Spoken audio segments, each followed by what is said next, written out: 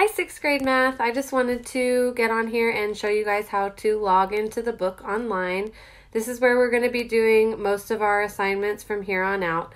Uh, all of sixth grade is going to have the same login. So I'm going to attach a picture with a username and a password and show you how to get on and your everyone is going to use that generic login and password. So you need to start by going to uh, myhrw.com. Okay, once you get in, you are going to see a page that looks like this.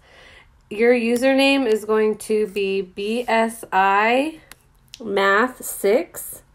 Okay, and your password is going to be Go Steers.